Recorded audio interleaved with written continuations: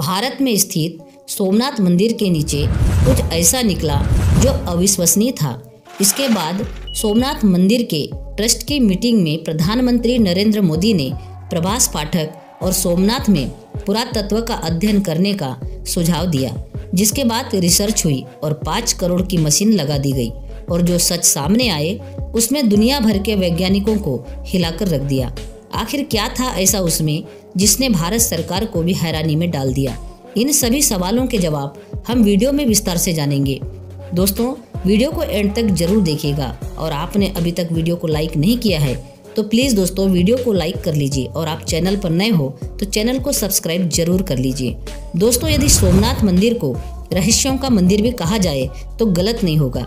यह मंदिर गुजरात के सौराष्ट्र क्षेत्र के वेरावल बंदरगाह में स्थित है। वेदों के अनुसार इस मंदिर का निर्माण स्वयं चंद्रदेव ने कराया था। इस मंदिर की अकूत संपत्ति को कई बार लूटा गया। मुस्लिम आक्रमणकारियों द्वारा कई बार इसे तोड़ा गया। इतनी बार तोड़ा गया जिसका कोई हिसाब नहीं है। लेकिन फिर भी आज यहाँ बहुत ही शौकत के साथ दुनिया के सामने खड़ा है। आखिर ऐसा क्या निकला जिसने भारत सरकार को हैरानी में डाल दिया? यह बताने से पहले आपको हम यह बताते हैं कि सोमनाथ मंदिर के प्रांगण में, दक्षिण में समुद्र के किनारे एक स्तंभ है, जिसे बाण स्तंभ कहा जाता है, जो बेहद ही प्राचीन है। छठी शताब्दी से बाण स्तंभ का उल्लेख इतिहास में कई पुस्तकों में देखने को मिलता है।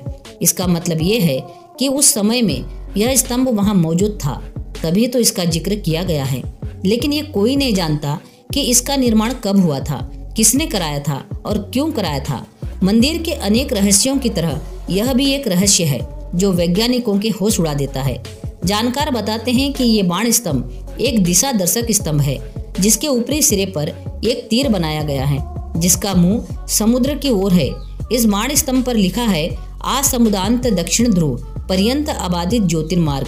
इसका मतलब ये है कि समुद्र के इस बिंदु से दक्षिण ध्रुव तक सीधी रेखा में एक भी अवरोध या बाधा नहीं है। कहने का मतलब यह है कि सीधी रेखा में कोई भी पहाड़ या भूखंड का टुकड़ा नहीं है। अब जो वैज्ञानिक सनातन धर्म की महानता नहीं मानते, उन वैज्ञानिकों के लिए सबसे बड़ा सवाल यह है कि आखिर उस काल में कैसे लोगों को यह जानकारी थी कि दक्षिण ध्रुव कहाँ है और धरती गोल है? कैसे उन लोगों ने इस बात का पता लगाया होगा कि जिस जगह पर सीधी रेखा मिलती है, वहाँ ज्योतिर्लिंग स्थापित है, जिसे भारत के बारह ज्योतिर्लिंगों में पहला माना जाता है? ये वैज्ञानिकों के लिए आज भी रहस्य है, जिसका जवाब किसी के पास नहीं है। अब बात करते हैं सोमनाथ मंदिर के नीचे दफन रहस्यों के बारे में। आज तक की रिपोर्ट के अनुसार आईआईटी गांधीनगर के कई एक्सपर्ट के ज़रिए पाँच करोड़ से भी ज़्यादा लागत की बड़ी बड़ी मशीनें यहाँ लगाई गई थी, जिसमें अलग अलग इलाकों में इस मशीन के ज़रिए रिसर्च की गई। पहले जीपीआर टेक्निक, रडार और मेटल रिजेक्टर का भी काफ़ी इस्तेमाल किया गया। और अचानक वैज्ञानिकों को सोमनाथ मंदिर के नीचे से वाइब्रेशन मिलने लगे। सोमनाथ मंदिर की जगह पर दो मीटर से लेकर बारह मीटर तक जीपीआर इन्वेस्टिगेशन किया गया। सर्वे की स्थापित तकनीक से बिना खुदाई कराए ज़मीन से 15 मीटर नीचे तक की सभी जानकारियाँ आसानी से मिल जाती है।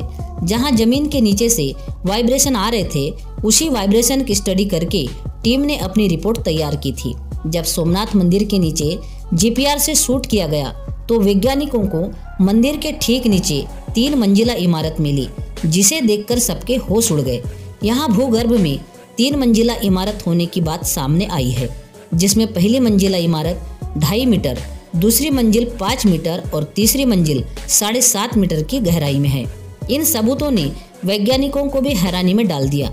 ऐसा इसलिए क्योंकि एक मंदिर के नीचे तीन मंजिला इमारत होना कोई साधारण बात नहीं है। इस पूरी घटना का खुलासा आईआईटी गांधीनगर और आर्कियोलॉजिस्ट डिपार्टमेंट के ज़रिए किए गए संशोधन में हुआ। इस सूत्र में पता चला कि देश के करोड़ों लोगों की आस्था के प्रतीक ज्योतिर्लिंग सोमनाथ महादेव के मंदिर परिसर में तीन मंजिला इमारत ज़मीन के भीतर दबी हुई है। इस बारे में 32 पन्नों की एक रिपोर्ट नक्शे के साथ सोमनाथ ट्रस्ट को दी गई। रिपोर्ट के मुताबिक प्रभास पाठक सोमनाथ के गौलोकधाम में आए हुए गीता मंदिर के आगे के हिस्से से लेकर हिरन नदी के किनारे तक हुए सर्वे में भूगर्भ के अंदर एक पक्की इमारत होने की बात सामने आई है।